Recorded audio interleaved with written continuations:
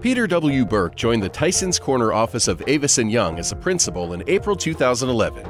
Peter has 29 years' experience in commercial real estate and has focused his efforts on landlord representation and corporate tenant representation services throughout the Northern Virginia area. Additionally, Peter has completed sales, joint ventures, equity leases, and built to suit transactions, sold institutional investment grade office buildings, air rights, and land for commercial and multifamily development. He has been involved in more than 6 million square feet of commercial real estate transactions throughout his career. Call Peter Berk today to learn more about Avison Young's services. We provide intelligent real estate solutions.